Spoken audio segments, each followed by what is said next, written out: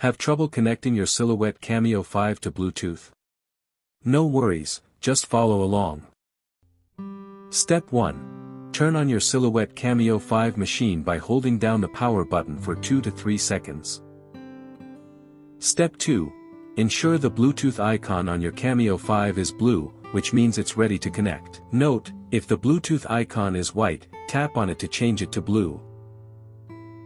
Step 3. Download and install the Silhouette Studio software on your computer. Step 4.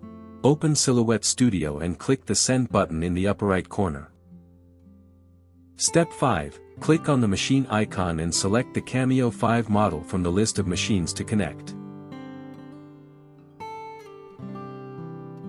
Leave a like and subscribe if we helped resolve your issue. Drop a comment below for more such videos and DIY ideas. Or visit us at www.mannymaker.com or call us at 1-786-866-5932 44 203 983 0480.